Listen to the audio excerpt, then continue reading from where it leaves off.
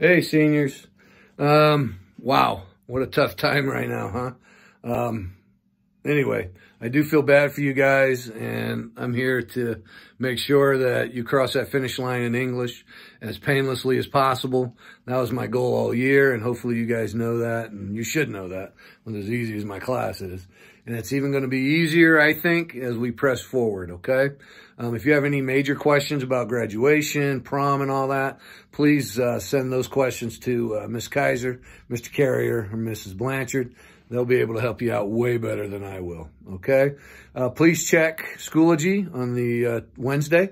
That'll have your first assignment there, or your general education opportunity, not assignment, general education opportunity which will be turned in to me on Friday, okay? I already gave you, sent an email with what I expect and what you can expect from me.